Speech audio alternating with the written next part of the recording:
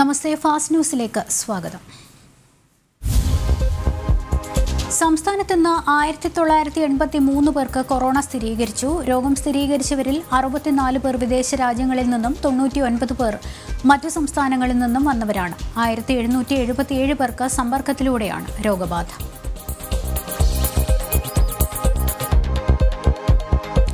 മലപ്പുറം ജില്ലയിൽ മുന്നൂറ്റി മുപ്പത്തി അഞ്ച് പേർക്ക് കൂടി കൊറോണ സ്ഥിരീകരിച്ചു മുന്നൂറ്റി പത്തൊൻപത് പേർ രോഗമുക്തരായി രണ്ടായിരത്തി അറുന്നൂറ്റി എഴുപത് പേരാണ് നിലവിൽ ചികിത്സയിലുള്ളത് കഴിഞ്ഞ ദിവസം മരിച്ച ചേലേമ്പ്ര സ്വദേശിനിയായ തൊണ്ണൂറ്റിനാല് വയസ്സുകാരിക്ക് രോഗം സ്ഥിരീകരിച്ചു കൊറോണ ആശങ്ക കുറയാതെ മധ്യ കേരളത്തിലെ ജില്ലകൾ കോട്ടയത്ത് നൂറ്റി ആറ് പേർക്കും ആലപ്പുഴയിൽ നൂറ്റി അൻപത്തി അഞ്ച് പേർക്കും എറണാകുളത്ത് നൂറ്റി അറുപത്തി അഞ്ച് പേർക്കും ഇടുക്കിയിൽ മുപ്പത്തിനാല് പേർക്കും ഇന്ന് കൊറോണ സ്ഥിരീകരിച്ചു സമ്പർക്ക വ്യാപനത്തിന്റെ തോതുയരുന്നത് നിയന്ത്രിക്കാനുള്ള ശ്രമങ്ങളിലാണ് ജില്ലാ ഭരണകൂടങ്ങളും ആരോഗ്യവകുപ്പും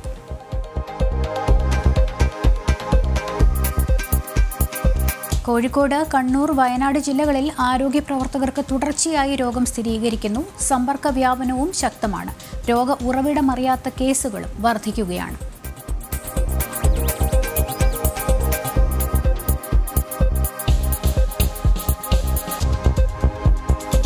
രാജ്യത്ത് കൊറോണ രോഗബാധിതരുടെ എണ്ണം മുപ്പത് ലക്ഷത്തിലേക്ക് ആകെ രോഗബാധിതർ ഇരുപത്തിയൊൻപത് ലക്ഷത്തി അയ്യായിരത്തി എണ്ണൂറ്റി ഇരുപത്തിനാലായി കഴിഞ്ഞ ഇരുപത്തിനാല് മണിക്കൂറിനിടയിൽ തൊള്ളായിരത്തി എൺപത്തി മൂന്ന് പേർ കൂടി മരിച്ചതോടെ മരണസംഖ്യ അൻപത്തിനാലായിരത്തി എണ്ണൂറ്റി നാൽപ്പത്തി ഒൻപതായി നിലവിൽ വിവിധ ആശുപത്രികളിലായി ആറ് ലക്ഷത്തോളം പേർ ചികിത്സയിലാണ് ഇതുവരെ ഇരുപത്തിയൊന്ന് ലക്ഷത്തി അൻപത്തി എണ്ണായിരത്തി തൊള്ളായിരത്തി നാൽപ്പത്തിയേഴ് പേർ രോഗമുക്തി നേടി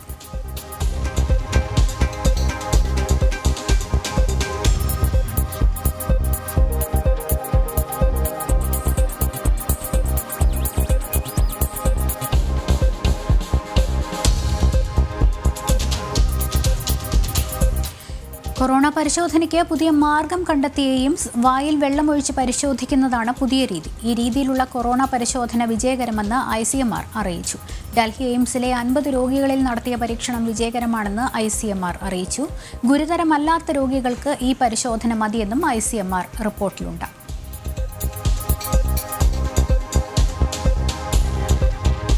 മഹാരാഷ്ട്രയിൽ കൊറോണ വ്യാപനമേറുന്നു മുന്നൂറ് പോലീസുകാർക്ക് പുതിയതായി കൊറോണ ബാധിക്കുകയും അഞ്ച് പോലീസ് ഉദ്യോഗസ്ഥർ മരിക്കുകയും ചെയ്തു കൊറോണ വ്യാപിക്കുന്ന സാഹചര്യത്തിൽ ഗണേശ ചതുർത്ഥി ആഘോഷങ്ങൾക്ക് കർശന നിയന്ത്രണം ഏർപ്പെടുത്തി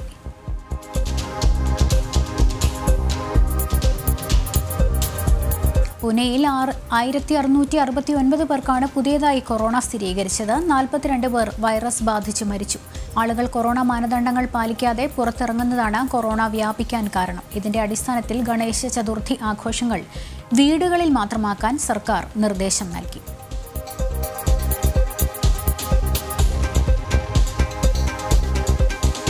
കൊറോണ വൈറസിനെതിരെയുള്ള വാക്സിൻ ഉൽപ്പാദിപ്പിക്കുന്നതിന് ഇന്ത്യയ്ക്കൊപ്പം പങ്കുചേരാൻ താൽപ്പര്യമറിയിച്ച റഷ്യ റഷ്യ വികസിപ്പിച്ചെടുത്ത സ്പുട്നിക് അഞ്ച് വാക്സിന്റെ തുടർ പരീക്ഷണങ്ങൾക്കായാണ് ഇന്ത്യയുടെ പങ്കാളിത്തം റഷ്യ ആവശ്യപ്പെട്ടിരിക്കുന്നത് റഷ്യയിലെ R D I F CO ആണ് ഇത് സംബന്ധിച്ച കാര്യങ്ങൾ വ്യക്തമാക്കിയത് വാക്സിൻ ഉൽപ്പാദനം വളരെ പ്രധാനപ്പെട്ട വിഷയമാണ് ഇതിന് ഇന്ത്യയുമായി ഒരു പങ്കാളിത്തത്തിന് ഞങ്ങൾ ശ്രമിക്കുന്നു വാക്സിൻ നിർമ്മിക്കാൻ ഇന്ത്യ പ്രാപ്തമാണെന്നാണ് ഞങ്ങളുടെ വിശ്വാസം എന്നുമാണ് ആർ ഡി ഐ എഫ് സിഒ സിഇഒ കിറിൽ ദിമിത്രവ് പറഞ്ഞത്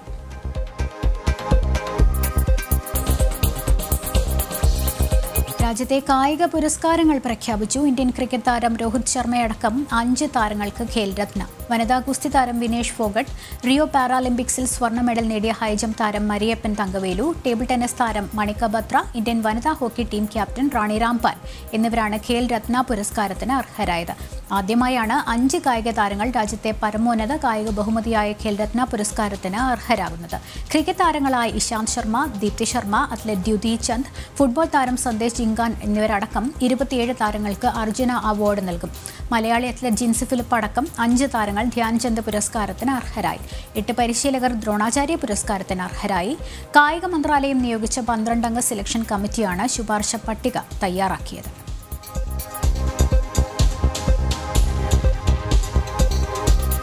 എൻഫോഴ്സ്മെന്റ് കേസിൽ സ്വപ്ന സുരേഷിന്റെ ജാമ്യാപേക്ഷ തള്ളി എറണാകുളം പ്രിൻസിപ്പൽ സെഷൻസ് കോടതിയാണ് ജാമ്യാപേക്ഷ തള്ളിയത് സ്വപ്നയുടെ റിമാൻഡ് കാലാവധി നീട്ടി സ്വർണ്ണക്കടത്ത് കേസിൽ രാജ്യത്തും വിദേശത്തുമുള്ള ഉന്നത സ്വാധീനമുള്ള വ്യക്തികൾ ഉൾപ്പെട്ടിട്ടുണ്ട് എന്നും സ്വർണ്ണക്കടത്തിന് പിന്നിൽ വലിയ സംഘമുണ്ടെന്നും കോടതി നിരീക്ഷിച്ചു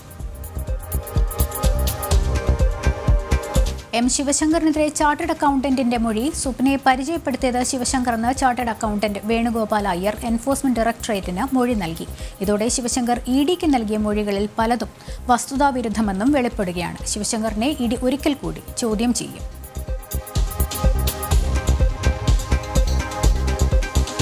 ലൈഫ് മിഷനിൽ നടപടിക്കൊരുങ്ങി കേന്ദ്ര സർക്കാർ ലൈഫ് മിഷനുള്ള റെഡ് ക്രസന്റിന്റെ ഇരുപത് കോടി രൂപ ധനസഹായം കേന്ദ്ര സർക്കാരിന്റെ അനുമതിയില്ലാതെ വിദേശ നാണയ വിനിമയ ചട്ടം ലംഘിച്ച് പ്രോട്ടോകോൾ പാലിക്കാതെയാണ് ഈ സാഹചര്യത്തിലാണ് വിദേശകാര്യ മന്ത്രാലയം നടപടി സ്വീകരിക്കുന്നത് കേന്ദ്ര സർക്കാരിന്റെ അംഗീകാരമില്ലാതെയാണ് വടക്കാഞ്ചേരിയിൽ ഫ്ളാറ്റ് സമുച്ചയം ഉയരുന്നതെന്ന് സ്ഥിരീകരിക്കപ്പെട്ടതോടെ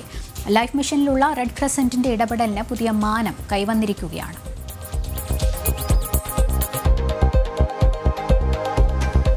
വടക്കാഞ്ചേരി ലൈഫ് മിഷൻ ഫ്ളാറ്റ് നിർമ്മാണ തട്ടിപ്പുകളിൽ ആരോപണ വിധേയനായ മന്ത്രി എ സി മൊയ്തീനെതിരെ സി പി എമ്മിൽ പടയൊരുക്കും സർക്കാരിന്റെ അഭിമാന പദ്ധതിയെ അനാവശ്യ വിവാദങ്ങളിലേക്ക് വലിച്ചിഴക്കാൻ മൊയ്തീന്റെ ഇടപെടലുകൾ കാരണമായെന്നാണ് പാർട്ടിക്കുള്ളിൽ വിമർശനം കഴിഞ്ഞ ദിവസം ചേർന്ന സി പി എം ജില്ലാ സെക്രട്ടേറിയറ്റ് യോഗത്തിൽ മന്ത്രിക്കെതിരെ രൂക്ഷ വിമർശനമാണ് ഉയർന്നത് അതേസമയം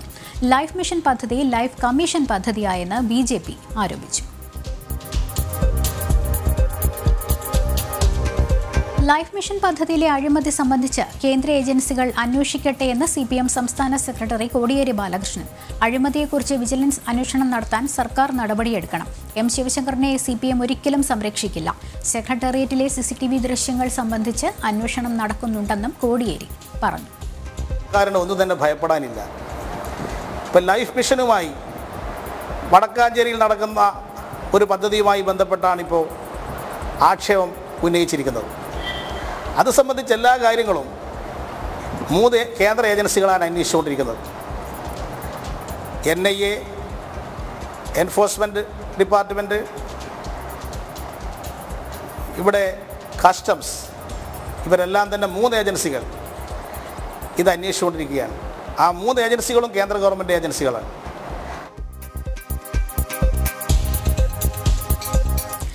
സംസ്ഥാന സർക്കാരിനെതിരെ പ്രതിപക്ഷ നേതാവ് രമേശ് ചെന്നിത്തല വടക്കാഞ്ചേരി ലൈഫ് പദ്ധതിയിൽ ബന്ധമില്ലെന്ന സർക്കാർ വാദം പച്ചക്കള്ളമാണ് എല്ലാ ഇടപാടിലും സർക്കാരിന്റെ സാന്നിധ്യമുണ്ട് യൂണിടാക്കിന് പദ്ധതി ലഭിച്ചത് സർക്കാർ നിർദ്ദേശത്തിന്റെ അടിസ്ഥാനത്തിലാണ് മുഖ്യമന്ത്രിയുടെ അറിവോടെയാണ് എല്ലാ ഇടപാടുകളും നടന്നതെന്നും ചെന്നിത്തല ആരോപിച്ചു വടക്കാഞ്ചേരിയിൽ ലൈഫ് മിഷൻ ഫ്ളാറ്റ് അഴിമതി സി ബി ഐ അന്വേഷിക്കണമെന്ന് U D F convener Benny Behanan ഹൈക്കോടതി നിരീക്ഷണത്തിലുള്ള അന്വേഷണമാണ് ആവശ്യം റെഡ് ക്രസന്റ് യൂണിടാക്കിനെ നിർമ്മാണം ഏൽപ്പിച്ചത് മുഖ്യമന്ത്രിയുടെ അറിവോടെയാണെന്നും മുഖ്യമന്ത്രി കള്ളം പറയുന്നുവെന്നും അദ്ദേഹം വിമർശിച്ചു മുഖ്യമന്ത്രിയുടെ കുടുംബാംഗങ്ങളുടെ സ്വത്തിലെ വർധനവ് അന്വേഷിക്കണമെന്നും ബെന്നി ബെഹനാൻ ആവശ്യപ്പെട്ടു കേസ് അന്വേഷിക്കുമ്പോൾ അത്തരത്തിലുള്ള രാഷ്ട്രീയ ഇടപെടലുകൾ ഇല്ലാതിരിക്കുന്നതിന് വേണ്ടിയിട്ടാണ് സി ബി ഐ അന്വേഷണം ഹൈക്കോടതിയുടെ നിരീക്ഷണത്തിൽ വേണമെന്ന് ഞാൻ ആവശ്യപ്പെടുന്നത്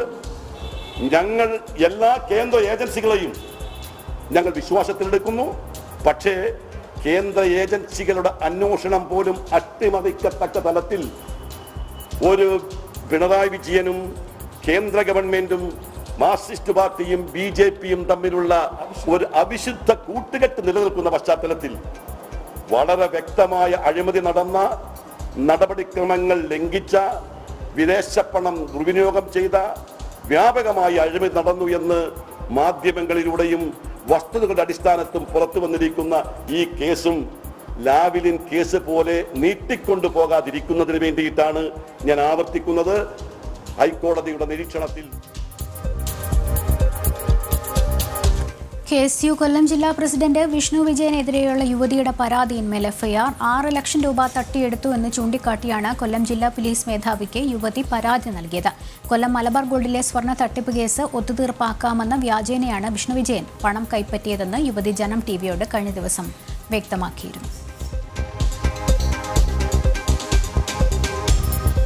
സിയാപ്റ്റ് വഴി പാർസൽ കള്ളക്കടത്തിന് നേതൃത്വം നൽകിയ ഡയറക്ടർ എം അബ്ദുൾ റഹ്മാനെ എൽ ബി എസ് ഡയറക്ടറായി സ്ഥിര നിയമനം നൽകാൻ യോഗ്യതാ ചട്ടങ്ങളിൽ മാറ്റം വരുത്തുന്നു ഇതിനായി യോഗ്യതാ വ്യവസ്ഥകൾ വെട്ടിക്കുറച്ചുള്ള നിയമ ഭേദഗതിയുടെ കരട് തയ്യാറാക്കി ഈ മാസം ഇരുപത്തിനാലിന് ചേരുന്ന ചട്ടഭേദഗതി കമ്മിറ്റിയുടെ ശുപാർശ മന്ത്രി അധ്യക്ഷനായ ഗവേണിംഗ് കൗൺസിൽ അംഗീകരിച്ച ശേഷം സർക്കാർ ഉത്തരവിറക്കും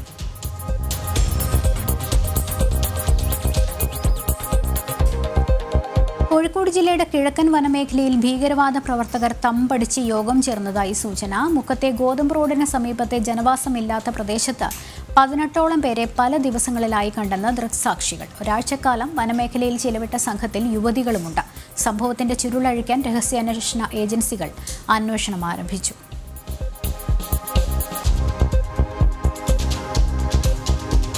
ചിറ്റാറിലെ മത്തായിയുടെ കസ്റ്റഡി മരണത്തിൽ വനപാലകർക്കെതിരെ കുരുക്കുമുറുകുന്നു കസ്റ്റഡി മരണത്തിൽ പത്തനംതിട്ട എസ് പി ഹൈക്കോടതിയിൽ ഇടക്കാല റിപ്പോർട്ട് കൈമാറി മത്തായി മരിച്ചത് വനപാലകരുടെ കസ്റ്റഡിയിൽ ഇരിക്കെയെന്നാണ് റിപ്പോർട്ട്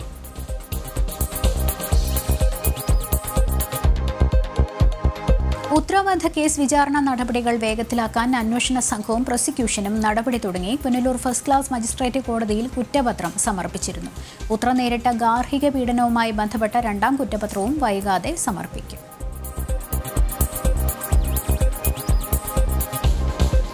സംസ്ഥാനത്തെ ബവറേജസ് കോർപ്പറേഷൻ ഔട്ട്ലെറ്റുകളുടെ പ്രവർത്തന സമയം ദീർഘിപ്പിക്കാൻ ശുപാർശ ഔട്ട്ലെറ്റുകളുടെ പ്രവർത്തനം വൈകുന്നേരം ഏഴ് മണിവരെ നീട്ടാനാണ് നീക്കം നിലവിൽ രാവിലെ ഒൻപത് മുതൽ വൈകിട്ട് അഞ്ച് വരെയാണ് പ്രവർത്തന സമയം നിലവിലെ പ്രവർത്തന സമയത്ത് പോലും മദ്യവിൽപ്പന കേന്ദ്രങ്ങളിൽ വേണ്ടത്ര കൊറോണ സുരക്ഷാ മുൻകരുതലുകൾ സ്വീകരിക്കാൻ സർക്കാരിന് സാധിച്ചിട്ടില്ല എന്നിരിക്കെയാണ് ഔട്ട്ലെറ്റുകളുടെ പ്രവർത്തന സമയം നീട്ടുന്നത് ഭൂരഹിതർക്കും കർഷകർക്കും പതിച്ചു നൽകുന്ന മിച്ചഭൂമി മറ്റാവശ്യങ്ങൾക്ക് ഉപയോഗിക്കുന്നതിന് കൂട്ടുനിന്ന് സംസ്ഥാന സർക്കാർ കാർഷിക ആവശ്യത്തിന് പതിച്ചു നൽകുന്ന വനംഭൂമിയിലടക്കം റിസോർട്ടുകളും വൻകിട നിർമ്മാണങ്ങളും തടയണം എന്ന ഹൈക്കോടതിയുടെ തുടർച്ചയായ ഉത്തരവുകൾ കണ്ടില്ലെന്ന് നടിക്കുകയാണ് സർക്കാർ മിച്ചഭൂമി പതിച്ചു നൽകുമ്പോൾ കൈവശരേഖയിൽ ഭൂമി നൽകിയതിന്റെ ആവശ്യം രേഖപ്പെടുത്തണമെന്ന കോടതി നിർദ്ദേശം സർക്കാർ പാലിക്കുന്നില്ല കോടതി ഉത്തരവ് കണക്കിലെടുക്കാത്ത റവന്യൂ സെക്രട്ടറിക്കും തദ്ദേശ സ്വയംഭരണ വകുപ്പ് സെക്രട്ടറിക്കുമെതിരെ കോടതി അലക്ഷ്യത്തിന് ഹൈക്കോടതി കേസെടുത്തു തിങ്കളാഴ്ച ചേരുന്ന നിയമസഭാ സമ്മേളനത്തിൽ സർക്കാരിനെതിരെയുള്ള അവിശ്വാസ പ്രമേയം ചർച്ച ചെയ്യും ഇതിനായി അഞ്ച് മണിക്കൂറാണ് നീക്കിവച്ചിരിക്കുന്നത് രാവിലെ പത്ത് മുതൽ മൂന്ന് വരെയാണ് അവിശ്വാസ പ്രമേയം ചർച്ച ചെയ്യുക അവിശ്വാസ പ്രമേയ ചർച്ചയിൽ തുല്യസമയം അനുവദിക്കണമെന്ന പ്രതിപക്ഷ ആവശ്യം സ്പീക്കർ പി ശ്രീരാമകൃഷ്ണൻ തള്ളി സഭയിലെ കക്ഷികളുടെ അംഗബലം അനുസരിച്ചാകും ഓരോ പ്രതിനിധിക്കും സംസാരിക്കാൻ സമയം അനുവദിക്കുക സ്പീക്കർക്കെതിരെയുള്ള അവിശ്വാസ പ്രമേയം ചർച്ചയ്ക്കെടുക്കേണ്ടതില്ലെന്ന് നേരത്തെ തീരുമാനിച്ചിരുന്നു രാവിലെ ഒൻപത് മണിക്ക് ചേരുന്ന നിയമസഭാ സമ്മേളനം ഒരു മണിക്കൂർ ധനവിനിയോഗം വിനിയോഗ ബിൽ പാസാക്കുവാനും അനുശോചന പ്രമേയം അവതരിപ്പിക്കുവാനുമായി മാറ്റിവെക്കും സ്വർണ്ണക്കടത്ത് ലൈഫ് മിഷൻ പദ്ധതിയിലെ ക്രമക്കേടുകൾ ഉൾപ്പെടെ നിലവിലുള്ള രാഷ്ട്രീയ വിവാദങ്ങൾ സജീവമായി ചർച്ച ചെയ്യപ്പെടും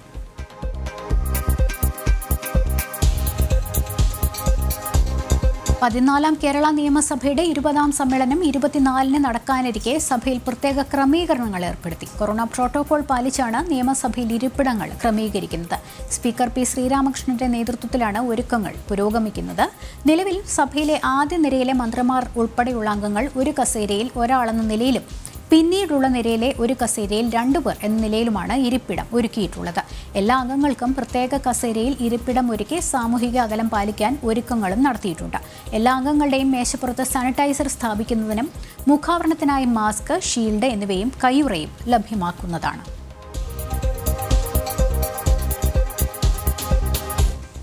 സിവിൽ സപ്ലൈസ് അരി ഇടപാട് അഴിമതിയിൽ മുഖ്യമന്ത്രിക്ക് പങ്കെന്ന് P T Thomas M L A കേന്ദ്ര സർക്കാരിന്റെ നിർദ്ദേശങ്ങൾ മറികടന്നാണ് സംസ്ഥാന സർക്കാർ അഴിമതി നടത്തിയത് വൻകിട മില്ലുകളെ സഹായിക്കാൻ സർക്കാർ കൂട്ടുനിന്നു അരി ഇറക്കുമതി അഴിമതിയിലൂടെ സർക്കാർ കർഷകരെ വഞ്ചിച്ചുവെന്നും സംഭവത്തിൽ സമഗ്ര അന്വേഷണം വേണമെന്നും എം എൽ എ പറഞ്ഞു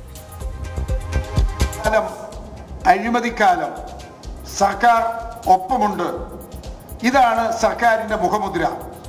പിണറായി വിജയന്റെ കീഴിൽ പല മന്ത്രിമാരും വിധേയന്മാരും തൊമ്മികളുമാണ് എന്നതിൻ്റെ ഉദാഹരണമാണ്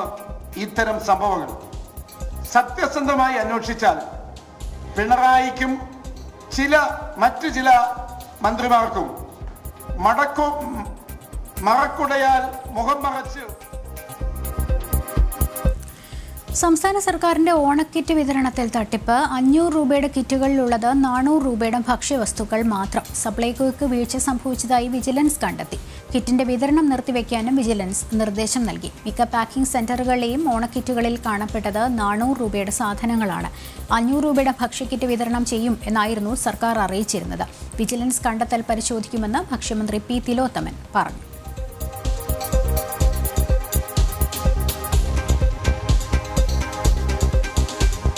സംസ്ഥാന സർക്കാരിന്റെ ഓണക്കിറ്റിലെ ശർക്കര ഭക്ഷ്യയോഗ്യമല്ലെന്ന ഭക്ഷ്യസുരക്ഷാ വിഭാഗത്തിന്റെ കണ്ടെത്തൽ രണ്ടാഴ്ച മുൻപ് കോഴിക്കോട് നിന്നും പിടിച്ചെടുത്ത ശർക്കരയാണ് ഭക്ഷ്യയോഗ്യമല്ലെന്ന് കണ്ടെത്തിയത്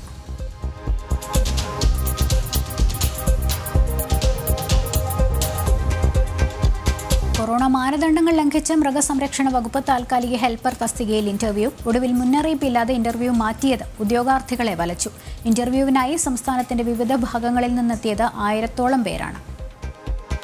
ഒന്നാം തീയതി രാവിലെ പതിനൊന്ന് മണിക്ക് ഇൻ്റർവ്യൂ അവർ പറഞ്ഞായിരുന്നേ നമ്മൾ ഇപ്പോൾ വന്ന് പത്ത് മണിയായപ്പോഴേക്കൂടെ വന്നപ്പോൾ ഇവിടെ അല്ലെങ്കിൽ ആൾക്കൂട്ടം ഉണ്ട് ഇവിടെ എഴുതി കണ്ടവർ റദ്ദ് ചെയ്തെന്ന് എഴുതി വെച്ചേക്കുക വളരെ മോശമല്ലേ വരും നമ്മൾ ഈ കോവിഡിൻ്റെ സമയത്ത് നമ്മൾ കഷ്ടപ്പെട്ട് ദൂരെ നിന്ന് വന്നേക്കണല്ലേ പെട്രോൾ അടിച്ച് പണിയൊന്നുമില്ല ഈ പണിയില്ലാത്ത സമയത്ത് നമ്മൾ കാശ് മുടക്കി പൈസ കടം മേടിച്ചോട് വന്നേക്കണേ അന്നേരം പിന്നെ പിന്നെ കൊല്ലത്തുനിന്നൊക്കെ വന്ന ആൾക്കാരുണ്ട് തൃശ്ശൂരിൽ നിന്ന് ആൾക്കാരുണ്ട് തിരുവനന്തപുരത്ത് നിന്ന് വന്ന ആളുണ്ട് മറ്റുള്ള പല പല ജില്ലകളിൽ നിന്ന് വന്ന ആളുകളുണ്ട് ഭയങ്കര വഞ്ചിക്കപ്പെട്ടിരിക്കുകയാണത് ഇതെന്താണെന്നുള്ളത് ചെയ്താൽ അവരവരോട് ചോദിച്ചു കഴിയുമ്പോൾ നേരത്തെ ഇരിക്കുമ്പോൾ ഈ ഓഫീസുകളിൽ ഞങ്ങൾ ഫോൺ വിളിച്ചിരുന്നു അവർ ഫോൺ എടുക്കാണ്ടായില്ല ഇന്നിപ്പോൾ ഫോൺ വന്നു കഴിഞ്ഞപ്പോൾ ഫോൺ ഫോൺ എടുക്കേണ്ട സംസാരിക്കേണ്ട അപ്പോൾ ഞങ്ങൾ ചോദിച്ചു ഇപ്പോൾ ഇന്ന് നിങ്ങൾ ഫോൺ എടുക്കണ്ടല്ലോ എന്ന് ചോദിച്ചു പലരും പല ഇതുവരും വഞ്ചിക്കപ്പെട്ടിരിക്കുകയാണ് അത് ഭയങ്കര ഹരിയാന മുഖ്യമന്ത്രി മനോഹർ ലാൽ ഖട്ടർ ക്വാറന്റീനിൽ കേന്ദ്ര ജലവിഭവ വകുപ്പ് മന്ത്രി ഗജേന്ദ്ര സിംഗ് ഷെഖാവത്തിന് കൊറോണ ബാധിച്ച സാഹചര്യത്തിലാണ് മുഖ്യമന്ത്രി ക്വാറന്റീനിൽ പോയത് ഇരുവരും ചൊവ്വാഴ്ച ഒരു യോഗത്തിൽ പങ്കെടുത്തിരുന്നു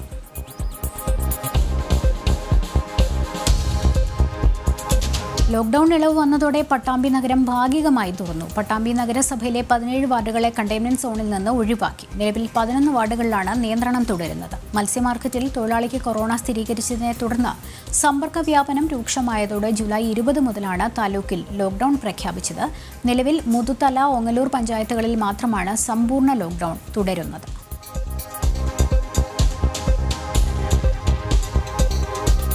കൊറോണ കാലത്ത് സുരക്ഷിത യാത്രയൊരുക്കി K S R T C boat service വയനാട്ടിൽ ആരംഭിച്ചു പ്രത്യേക കൂപ്പൺ ഏർപ്പെടുത്തി സ്ഥിരം യാത്രക്കാർക്ക് കൃത്യസമയവും സ്ഥലവും നിർണ്ണയിക്കാം ഇതിനനുസരിച്ച് ബസ് സർവീസുകൾ ക്രമപ്പെടുത്തുന്നതാണ് പദ്ധതി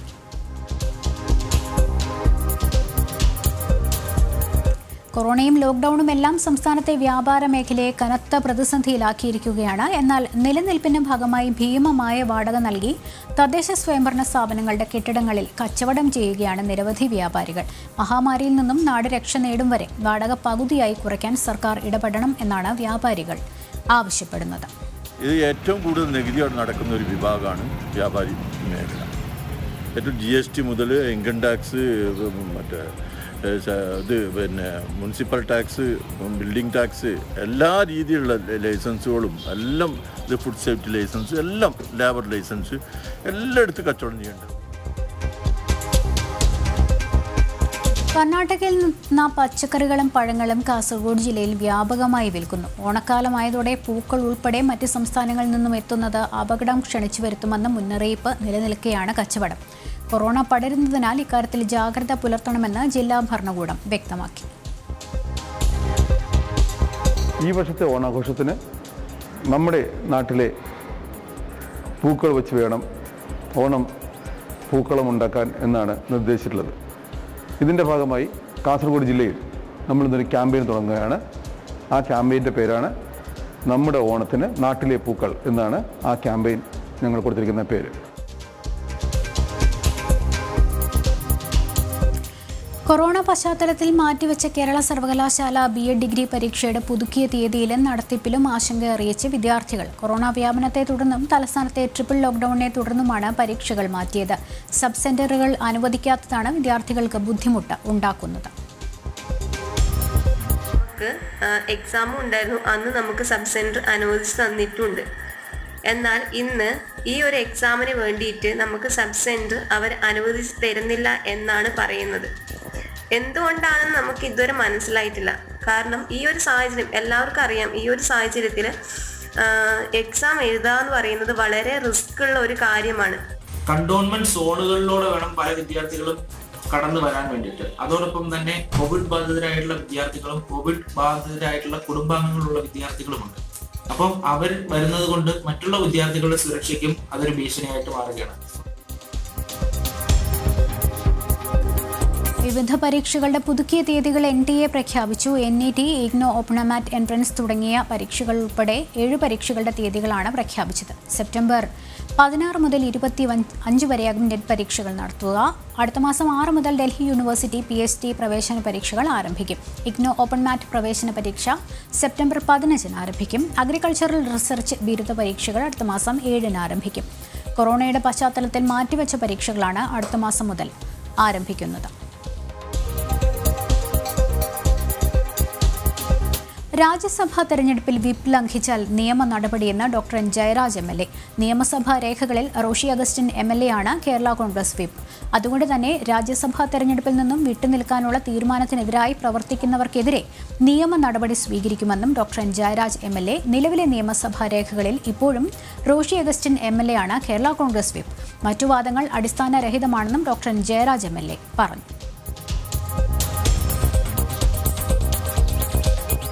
സുശാന്ത് സിംഗ് രാജപുത്തിന്റെ മരണം സി ബി ഐ അന്വേഷിക്കുന്ന സാഹചര്യത്തിൽ പാൽഖറിൽ സന്യാസിമാരെ കൊലപ്പെടുത്തിയ കേസും സി ബി ഐക്ക് വിടണമെന്ന് ജുന അഖാഡ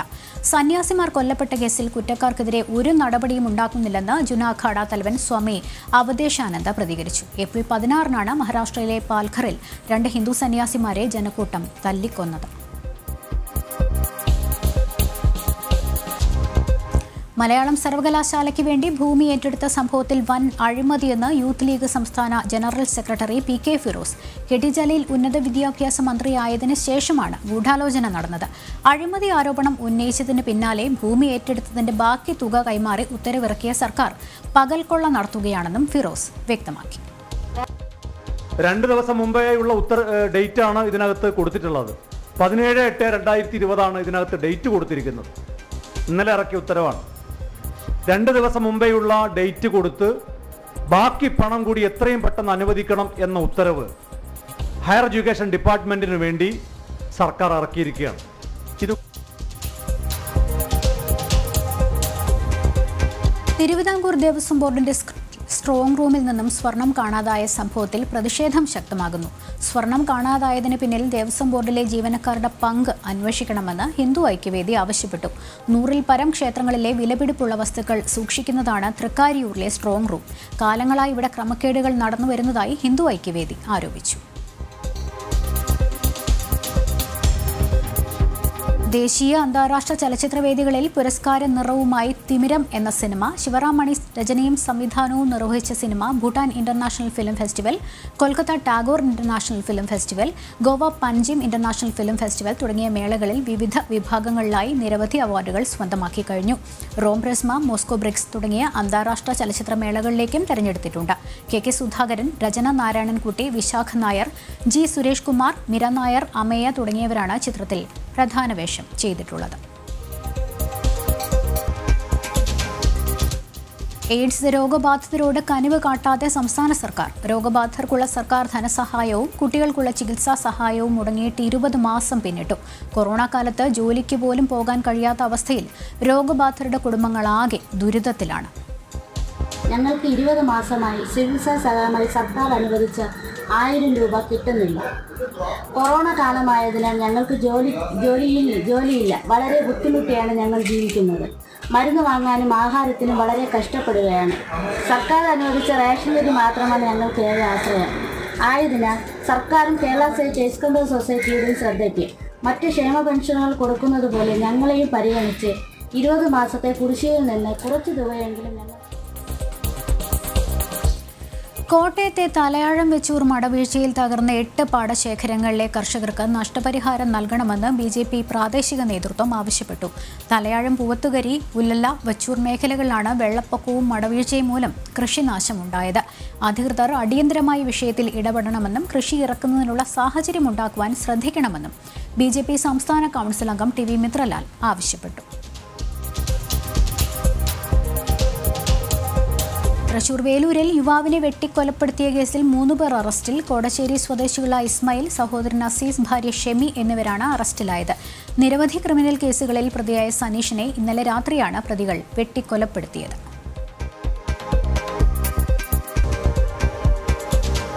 ഇതോടെ ഫാസ്റ്റ് ന്യൂസ് പൂർണ്ണമാകുന്നു നമസ്തേ